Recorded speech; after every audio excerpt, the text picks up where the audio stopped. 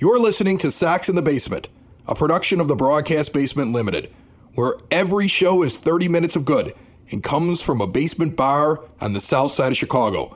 Pull up a stool, pour a cold one, and join us right now for Sox in the Basement. Heard everywhere podcasts can be found and always at soxinthebasement.com. You know, Ed, uh, injuries have struck my team. They have decimated it in a lot of different ways.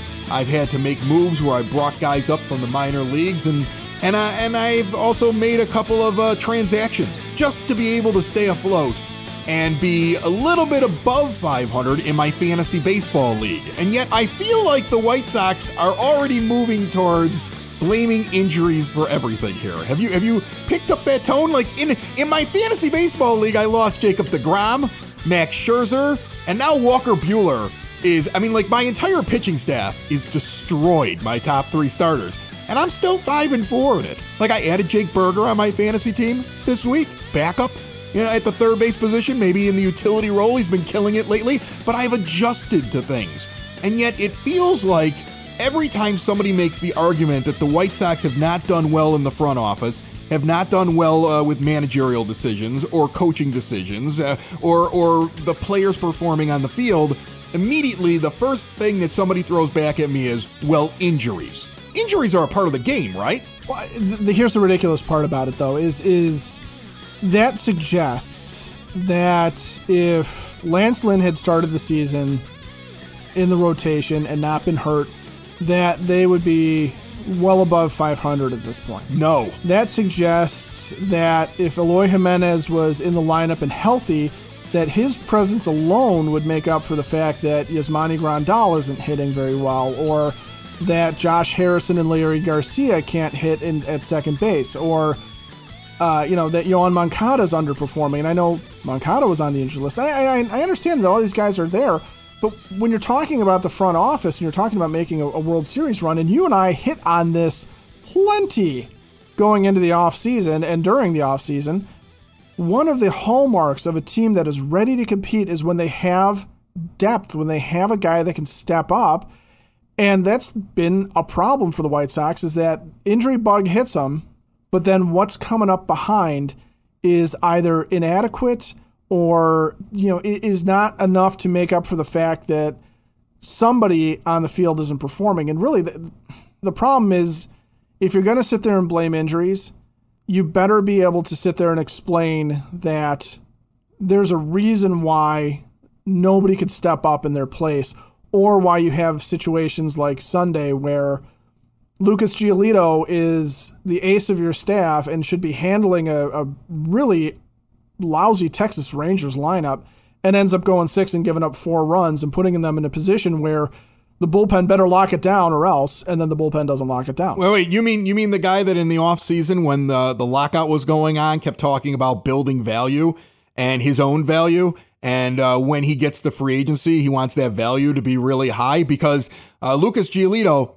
and you know what? I got nothing against you personally. I think you're a pretty good pitcher. I don't think you're an ace. I think you're showing that because when you have a 5 nothing lead, you can't do what he did in his last start. You you can't do that and then expect that you're just going to walk in and get one of these 300 million dollar pitching deals. I'm sure you'll believe it, but I, if I were a GM, I'd be looking at things like that saying, "Nah, that's not the kind of guy that I could just put in there when my team needs to stop the bleeding." And there shouldn't have been that much bleeding over the last couple of series. Of course, this episode of Sox in the Basement brought to you by Family Waterproofing Solutions, bowing walls, window wells, foundation and crack repair. Some pump needs looking at. Whatever it is, keep water away from your home and out of your basement, and you get money off when you mention Sox in the Basement. Family veteran owned and operated since they started in 2013. Give them a call 24 7 at 708 330 4466. See what a difference a family makes at familydry.com. They should have won two out of three against the Dodgers. All right. Game one, they got. Thank God Dave Roberts never read the scouting report and sent in a left handed relief pitcher in David Price up against Gavin Sheets when Tony would have just batted a guy who was on his way to AAA. But because that guy comes in, because Price comes in, he goes to AJ Pollock because he's a slave to lefty righty matchups. And Pollock probably should have been in there the entire game. Right away, Pollock gets the hit. They win game one of that series. Fine, you lose game two of that series. You should have won game three. Oh, That's yeah. a debacle. That's the one where LaRussa is is is intentionally walking a player with a one-two count. And as many times as he can say, I take criticism, he clearly does not, because everybody can present numbers to show that he's wrong. And he still insists that he's right. So, whatever. You should have gone two out of three in that. You went one out of three. You should have won all three games against Texas. You had the opportunity and the means to win all three games against Texas. You walked away with one of them. Worst case, your team should have gone four and two and could have gone five and one over those six games, and you went two and four. I, I, I don't care. I mean, I'm glad Lance, Lance Lynn is back. I'm glad he's back. Okay. And I, I know that Fangraphs is saying that they still have like a, I want to say 47, 48% chance of making the playoffs because they're they're taking into account guys' tendencies and their trends and the fact that this might even out and their very easy strength of schedule. And I know that's a talking point on the broadcast because they don't want you to stop watching or listening.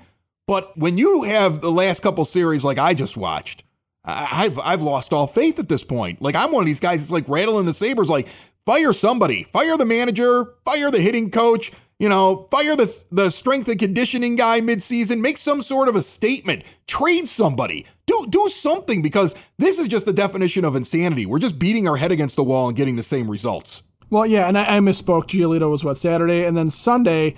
You know, you you had you, injury strikes again. Okay, so there goes Michael Kopech, but then Johnny Cueto comes in and just absolutely saves that game. Yeah. And and and we're sitting there though in extra innings, and I'm sitting around watching the game with a few people, and we're watching as as they you know oh an intentional walk to bring up Jose Abreu. Well, yeah, I guess they figure he's gonna oh there he goes rolls one over to shortstop, and then we're sitting there watching. It's like well of course they're gonna walk Jake Burger because look what's behind him. Uh, that that's a manager I would like on my team. That's a manager that gets an impact off of his decisions, right? Like when was the last time you saw Tony make a managerial move where later you said, "Wow, that made a difference and a positive impact"? I mean, just just over this weekend, I can't remember if it's the Saturday or the Sunday game because they all blur together in a big giant pile of of crap. But at some point, he decides that he's going to pinch hit for Adam Engel and he's going to bring in, I want to say, who did he bring in? Moncada, right? Right. So after he brings in Moncada, and I want to say this is the Sunday game, he brings in Moncada, who's terrible at the plate and has absolutely no chance. How does a cold player, now coming off the bench cold, come out and all of a sudden break out of it in a pinch hit moment? I, I don't see how that ever happens. So that's a waste. And then what you do is you move Garcia in the right field, which makes your defense out there worse. And you bring in Harrison to go stand at second base. And then what happens? Couple innings later, your team's making this miraculous comeback, and all you need is for Harrison to put his bat on the ball. And in that exact same spot, here comes Harrison, another terrible batter at the plate, and you never get anything. Now, I don't know if he never makes that move and Engel's up there, if Angle gives a, a better result. But what I'm saying is that Tony's moves just never pan out. You know, I'm watching the Rangers manager. What's what's his name? Woodward. Okay, Chris I'm- Woodward, yeah. I, I'm I'm watching him make very informed, smart decisions that worked out for his team in big situations.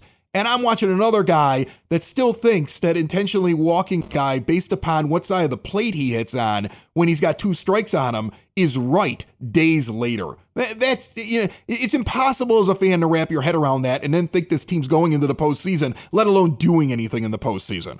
Well, and th- therein lies the problem, right? You're watching Chris Woodward sit there and, and just read the scouting report, all right? Yeah, he, he takes a risk that Jose Abreu is going to come up and get a big hit, but there's already the guy on second base anyway. So why not play that percentage and say, let me take this guy who's been an RBI machine throughout his career off of the plate and put him on first base where he can't really hurt me that badly. Meantime, yeah, he's just looking up behind him, and, and you're right. The, the whole bringing in Yoan Moncada for Adam Engel. The question is is does Engel do better in that situation than Moncada for starters?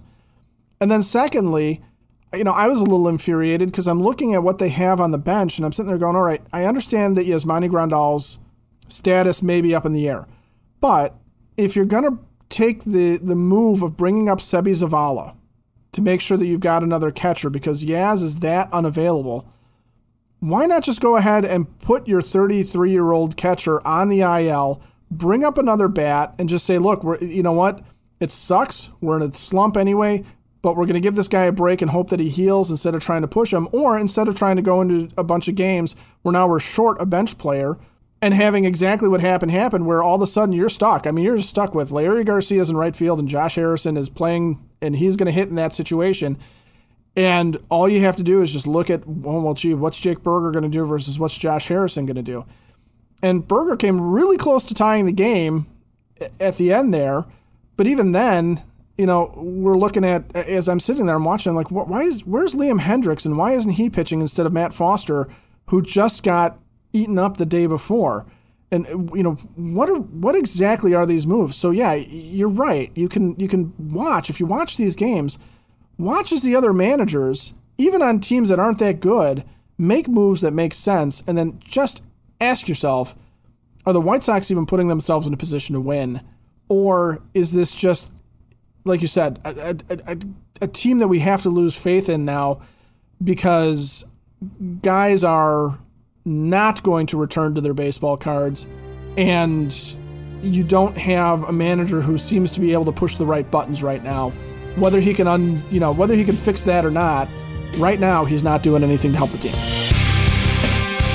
If you or someone that you love are starting to have a little bit of a hard time around the house, they want to keep their independence, they want to stay inside of their home, they don't move around so well, Hyatt Home Medical Equipment has everything to help out. We're talking CPAP machines, therapeutic chairs, hospital type beds, conversions for the bathtub, railings, a chairlift for the stairs, a ramp outside of the house, and they work with your insurance. Think about this you have somebody that depends on oxygen, but they don't live on a ground floor. Get an extra tank, insurance pays for it, and that way you're not constantly going back and forth up the stairs with the oxygen tank. You know they're taken care of. Whatever you need, Hyatt is there for you. And if you mention Sox in the basement, you get a discount. 3518 West 95th Street in Evergreen Park. Check them out online, see everything they have to offer at hhme.com. Over this past weekend, our good friend Jake Burger, who's been on the program before, uh, got engaged. And I knew that because uh, the Sox in the Basement account also follows his girlfriend, now fiance, soon to be the wife of the White Sox third baseman designated hitter who has made a splash. He's been one of the, the best guys out there offensively all year long. He's been a bright spot. Ashlyn Carmela joins us on the show. How are you, Ashlyn? I am wonderful. How are you guys? Great. Congratulations on the engagement. How how does a baseball player propose? Is there is he smooth on the transition? he doesn't bobble it or anything, does he?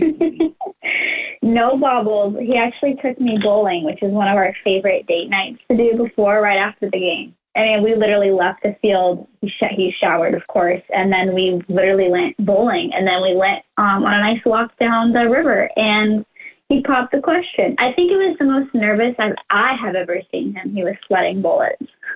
See that that's crazy to me because if you think about it, like you know, not to bring up a sore point, but like I want to say that last week, and it might even have been right around the, nut you know, right before he gets engaged. He might have it on his mind. He he made a play that didn't go very well for him over at third base, and a lot of guys let that get into their head. But he literally comes up like the next at bat and hits a bomb. Like he could shake it off right away. So I'm surprised he gets nervous eh, at any time in his life because he seems like he's a cool customer.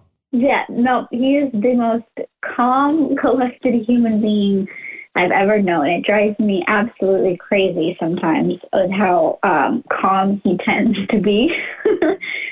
I don't know about much about the baseball thing, so I don't know. I think sometimes he likes if he has an error, he wants to go just hit a ball really hard, like anyone would. Would I feel like if they were angry or frustrated at a mistake that he made? Um, but I think he was definitely nervous, and I was the first time I've seen him sweat in a long time.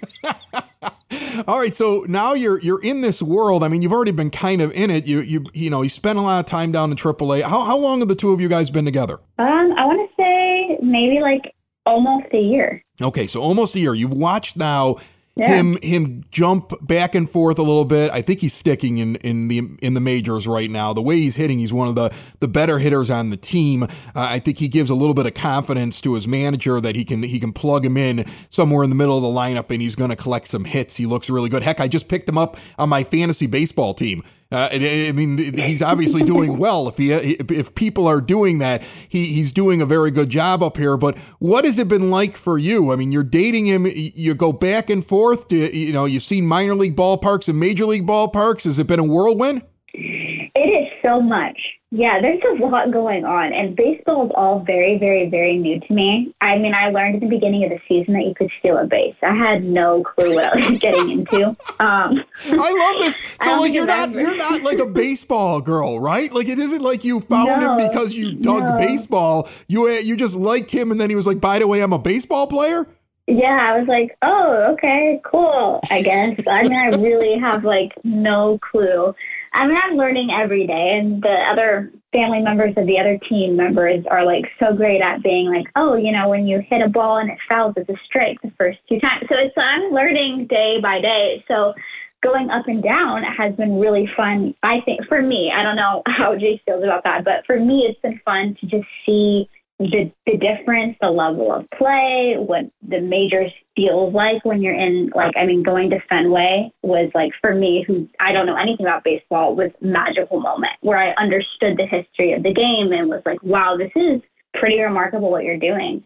And then being down in AAA, you're just like you're there and you're doing the same thing every day. Nothing changes in his routine, nothing changes in ours, and you're just really grinding out. And it's I mean it's hard work all the time. What is it like with the the wives and girlfriends of the the other players? I mean, we've seen this in movies before. I've seen this depicted, but I don't know how true it is. Where essentially, like all the wives stick together, the girlfriends are almost like a separate group. You get married, you get promoted to the other group. Sometimes they they sometimes they get along, sometimes they don't. I've seen it kind of portrayed in movies, but what is it really like? Uh, especially now you're up here with the club and you've gotten to meet those uh, that are the partners of uh, other players on the team. I think everyone's been great. Honestly, I don't. I haven't really felt that separation of uh, classes. Um, everyone's been super, super, super warming. Um, I think the first wife I ever met was in spring training, and it was um, Tim Anderson's wife, and she was just amazing. And everyone I've met so far has been just like that. And I mean, you're always together all the time. Like you're essentially another family of 26 and we all have kids or a lot of them have kids. And you know we do our things together and we have bible study the guys have bible study. So it's it's just another um, added family. And I, I we're lucky that we all kind of get along and there's really no drama at all. And our guest today, like every guest on Sox in the Basement, brought to you by the Village of Lamont. Want to experience a downtown with real history, great eats and drinks, and green spaces filled with adventures? Visit the Village of Lamont, a great place for Jake and Ashlyn to take a day trip. Shop, dine, drink, explore, and look at their calendar on the website to see what they have going on each and every weekend. There's always so much in Lamont. Visit lamontdowntown.com. You know, uh, last season we interacted a little bit through social media with uh, Ashley Rodon, uh, Carlos Rodon's wife, and she she gets really angry during uh, Carlos's game days. Like she tweets when she thinks that he got a bad call by the umpire. Do you get that passionate about it? Do you feel like you know you, you have to defend him because he's your guy? um, I mean, I don't. I'm still learning the difference between a, what a ball and a strike looks like. So I'm assuming if you ask me that question in like a year or two, I will probably have a different answer for you. Um, so for me, I'm like, eh, I'm just really learning. You know, I'm really learning as I go. But I am super passionate when Jake hits like a home run. That feeling. I mean, I was there the day that they went to the 12th inning and he hit that home, the pinch hit that won the game. And I don't think I've ever screamed or cried as much as I did at the same time. It was just so much emotion um, and excitement. Um, but the bad call thing, I don't know anything as much as I will, I guess, as I continue learning about the game um, to be like, that was the wrong call. You know, uh, we've we've talked with uh, Jake before, and he's got that burger bombs uh, thing that he does, uh, all about mental health, and it, it seems like it's a really positive thing for him. Does he get really upset? Because I, I, when I play 16 inch softball, Ashlyn, and I have a bad day, I come home annoyed, and it doesn't even matter. You know, like I'm not a major league baseball player, so I would imagine he comes home every once in a while, and you're just kind of like, you know, you you you have to kind of be the person that that deals with the emotion, right? Yeah, you have definitely. I, I mean, yesterday he's like, I think when he called me when he got into Detroit, he was like, "Man, I got robbed." That win, that would have been a home run. Um, so by the time he gets home, a lot of it's dissipated. I think I know when he makes errors, it's it's frustrating for anyone who has a job that makes a mistake right? And then when you have a job where people are consistently betting on your performance and the results of your job for that day, um, it's an added pressure. So when you make a mistake where you feel like you let your teammates down first and then everybody else down second, it, it weighs on you. But he knows like the sun comes down and it's going to go back up tomorrow and there's going to be another game and there's going to be another day for me to do do my job. So he's very balanced when it comes to that, but he definitely gets um, frustrated. um, but he he does well at not bringing it home because when he's home, it's like okay, we've got three hours of awake time at this point until you got to get up and leave tomorrow at 8 a.m. So yeah, I would imagine it's a busy schedule, and he's he's carving out time. And I would imagine now with a, a wedding coming up at some point, uh, he's going to have to to pick out certain things and help in some way with the planning. And uh, when when are you thinking about doing this? Have you already discussed it? I know when I when I proposed to my wife years ago, it was like full speed ahead immediately. She already had like a vision as to yeah. what she wanted to do. Or is, is that what you're doing? Yeah, we talked about a wedding a long a while ago, well before he uh, asked me. So we're thinking next. I mean, with baseball season, we really got three weeks to kind of have a wedding, and during those three weeks, there's probably like 12 other guys that you've been friends with that also are getting married at that same three week time frame. So we're definitely going to do next November, um, November 2023, and we're probably I'm I think we're really leaning towards this really pretty place um, right outside Knoxville, Tennessee. Wow. November is the time for weddings for Major League Baseball players. I never thought of that, but yes. that's incredible to me. Like There's back to back to back to back. You're just doing nonstop. Like you get married and then you have to go to somebody else's wedding, like the next day, it sounds like. Yes. it's crazy. Yes. And I think in this this off season is Andrew Vaughn and his fiance and Kayla and Gavin Sheet. So it's like back to back to back to back weddings. Wow, a lot of White Sox weddings on the way. Well, very exciting. I, you know, yes. I got to be honest. It, it didn't. It has not started off well yet. It is not over yet for this team. I really hope that the window for weddings doesn't open more. I want it to stay in that three week window because that means they went into the postseason, right? No, I agree. Ashlyn, uh, first of all, welcome to the White Sox family. Congratulations on your Thank engagement. You. I, I, look forward to you uh, learning a little bit more about the game. Uh, Me too. Maybe this time next year I'll be able to give you a little bit more insight. Yeah, we can bring you on as an analyst in the future once you figure out the balls and strikes. Perfect. That's awesome. Ashlyn Carmela, the fiance of Jake Burger. Say hi to Jake for us, okay? I will absolutely do that. At the official brewery of Sox in the Basement is Hailstorm Brewing Company, located in Tinley Park at 8060 186th Street, right off of 80th Avenue. I'm actually stopping by there. If not by the very end of this week, over the weekend, I'm going to drop off some more Sox in the Basement swag. So if you stop in there, grab it at the bar. Highly acclaimed new brewer Will Turner is bringing decades of experience and excellence to Hailstorm Brewing tweaking their classic styles and innovating new beers of his own. That's a big tap room there, an outdoor patio that is beautiful, complete with a fire pit, and they have live music on the weekends along with trivia nights and other fun events. Do not miss out on their big summer beers that are out, including Primo Mexican Lager and the Big Beautiful Wheat. And look for Morley Celebrating Mokena, Orland, and Tinley Park, it is an American brown ale that's a little hoppier than the classic English brown ale. They have great beer, really good food, an amazing atmosphere. I love getting out there to Tinley Park. You should get there as well. Check out more on Facebook at Hailstorm Brewing Company or go to hailstormbrewing.com. I thought it was interesting what uh, Jake Burger's fiance said about how much he thought he got that ball late on Sunday. He thought he had a home. I thought he run got there. that ball. Yeah, I thought he had a. I thought he had it too, and I was uh, in that moment. I was like, "Oh my goodness, something's actually going to work out for them," but it didn't. And, here's the other thing: I I don't like to harp on just a series because I really like these these shows to be No. evergreen. But what is Seby Zavala doing? Like, you know, I, I know that not everybody runs out everything, and it looks like it's going to be a ground out. But I don't know if you're sure at that moment that the ball isn't going to squirt through there. And you just got up from AAA on a gift because you're not even the best catching option this team has long term that's down in the minors. That's that's the young man by the name of Carlos Perez that everybody's been talking about is tearing it up down there, who some people thought should have been the guy that was brought up. So you should be hustling on everything. It just is a microcosm of this team. Actually, the biggest microcosm of this team is Luis Robert being out at third base when he didn't matter.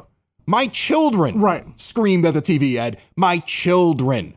Not just the 16 year old or the 14 year old. The six year old yelled at the TV. Because even at the age of six, he's been taught enough about baseball to understand that Luis Yeah. Robert didn't matter. And then the worst thing was listening to Scott Podsednik on the post game, uh, or, or maybe it was Guillen, whichever one was trying to excuse it, going, and, and and let's be honest, Podsednik's been great at like holding holding guys to stuff in the post game. Okay, so I, I actually Oh, have yeah, yeah. enjoyed his bluntness. Okay, and I I really have. The the fact that he was like, well, here's a guy who's trying to make something happen. What are you making happen? There's two outs. The tying run is at the plate. You don't matter because you're down by two. The ball is on the side of the field that you're running from. So you're going second to third and the ball is in left field, which means it's not a guarantee. And even if you make something happen, like the outfielder panics over your blazing speed in this intense moment and launches the ball so high over third base that it hits Steve Stone in the forehead. You still, after scoring, have done nothing to change the outcome of the game because the guy at the plate still has to do something. You are a meaningless run. And that is that kind of stupidity. Uh, and, and Zavala not coming out of the batter's box hustling. And just all these little things. They are a microcosm of this team. And at some point, you have to look at leadership. And you look at leadership from the top down. You look at the manager, sure. Then you look at the general manager and you look at the people in the system that are training these guys on how to play. And then you look at eh, you look at the people all the way up the line. You look at Rick Hahn, you look at Kenny Williams, who supposedly still works there. He's somewhere in the line. And then you look at the owner that put all these people in place, including the manager, and hired all these people and enables these people to all be in control of a Major League Baseball team. This was supposed to be our window.